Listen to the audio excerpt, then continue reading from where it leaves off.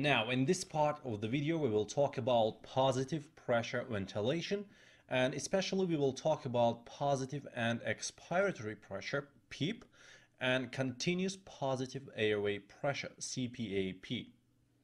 In order to understand what the PEEP is, let's first talk about normal restful respiratory cycle events. Suppose you are going to breathe in. It is very important to know that inspiration is an active process. It begins with contraction of your diaphragm, which pulls the lungs downwards the intrapleural pressure becomes even more negative from negative 5 down to negative 8 cm water. This causes the lung and alveoli to expand. This expansion makes the alveolar pressure, which was zero, decrease to negative 1 cm water. As you know, in respiratory physiology, the atmospheric pressure is considered to be zero. Because of this pressure gradient between alveolar pressure, which now is negative 1 cm water, and atmospheric, which is 0, the alveoli suck the air in until alveolar pressure also returns to 0. This means when you start breathing, actually you are just taking the air into the conducting zone. But as far as how the air reaches the alveoli, it is because of the pressure gradient. Again, during inspiration, the alveolar pressure becomes negative, which sucks the air in. However, there are some diseases in which the patient's lungs are not able to create this negative alveolar pressure to suck the air in. For example, in case of acute respiratory distress syndrome, there is a widespread inflammation in the lungs which causes injury to the lung cells and surfactant dysfunction. In acute respiratory distress syndrome, three populations of alveoli can be distinguished. There are normal alveoli, which are always inflated and engaging in gas exchange. Flooded alveoli, which can never, under any ventilatory regime, be used for gas exchange. And atelectatic or partially flooded alveoli.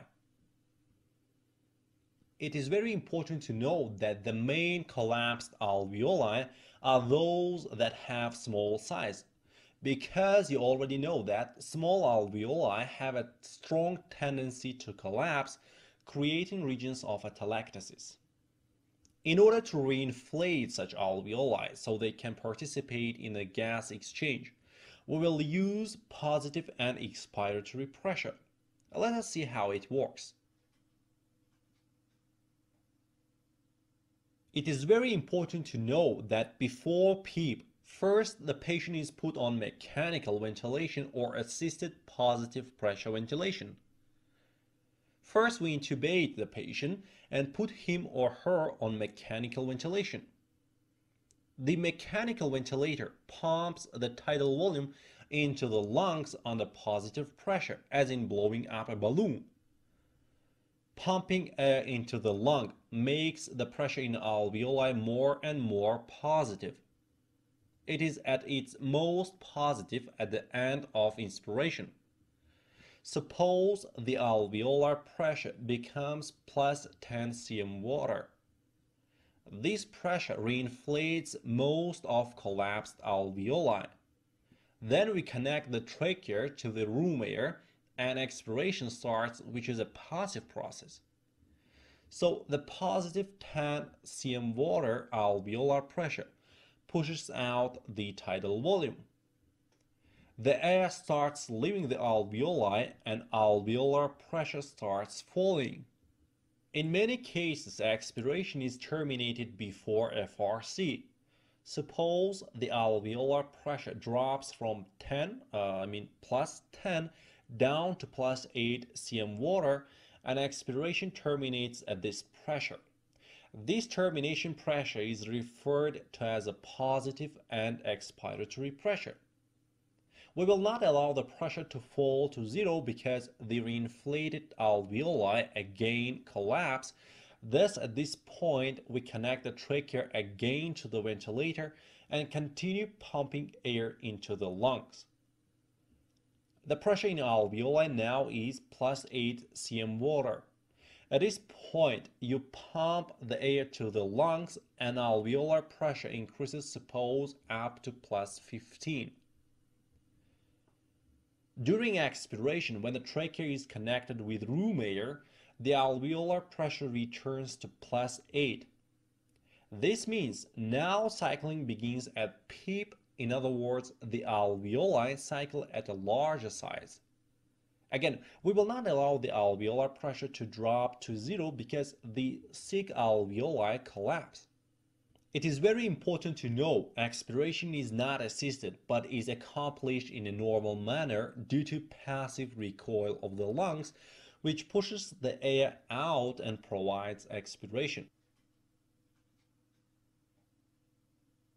Let me draw here a graph to apply all our information to it. On y-axis we have the alveolar pressure and this point is FRC. In assisted positive pressure ventilation, you pump the tidal volume into the lung and alveolar pressure is becoming more and more positive. It is at its most positive at the end of inspiration. Suppose we reach plus 10 cm water. The trachea is then connected to room air. The positive alveolar pressure pushes out the tidal volume and at FRC alveolar pressure is again zero. The next cycle begins and you again pump the tidal volume under the pressure. We reach plus 10 cm water. At this point, inspiration ends and trachea connects to the room air. The expiration starts and alveolar pressure starts dropping. In many cases, expiration terminates at this point, suppose at pressure of plus 8 cm water. This termination pressure is referred to as a positive end-expiratory pressure.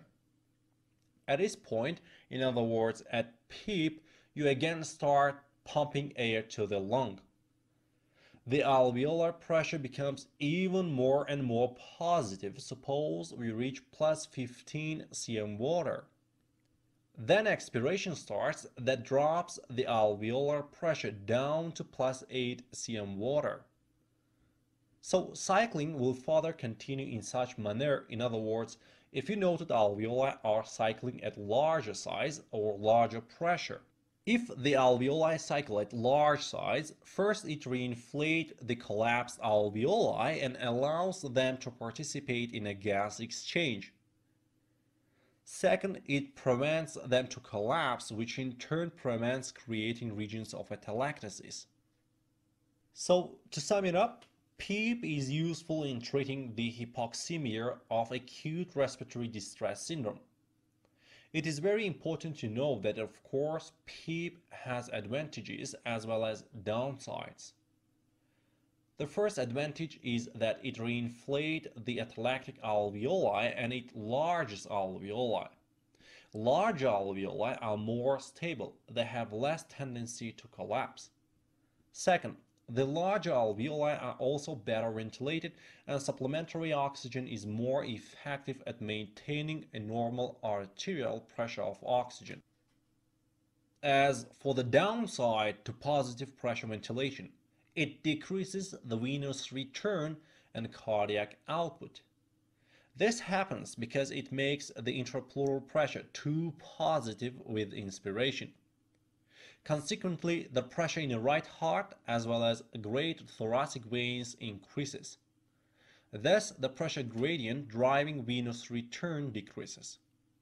Venous return into the right heart decreases, which in turn decreases cardiac output.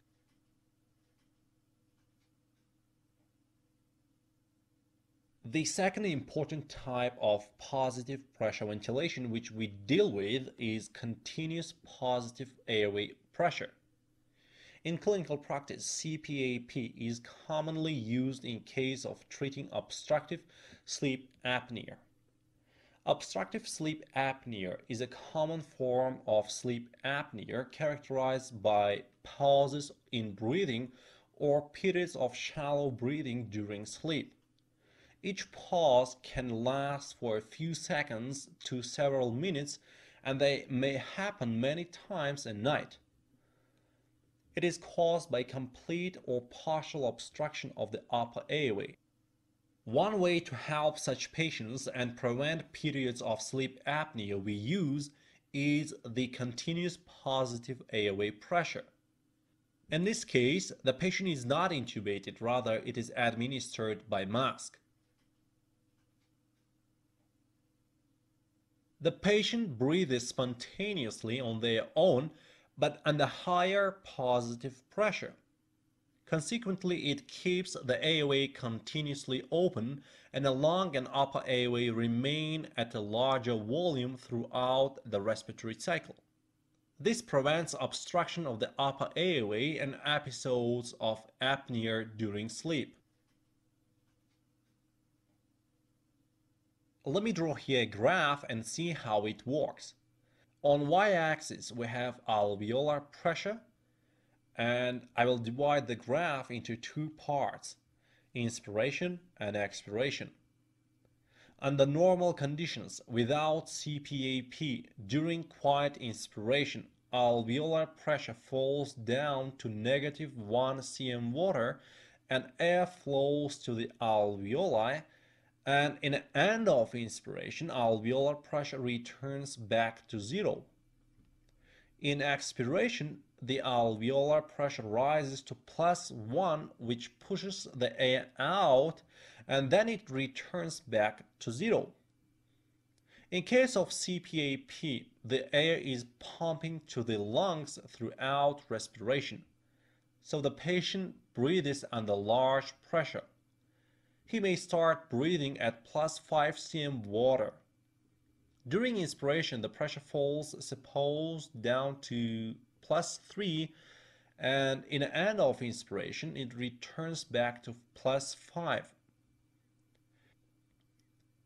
In expiration, the alveolar pressure rises up to suppose plus 7 cm water and in the end of expiration it again returns to plus 5 cm water.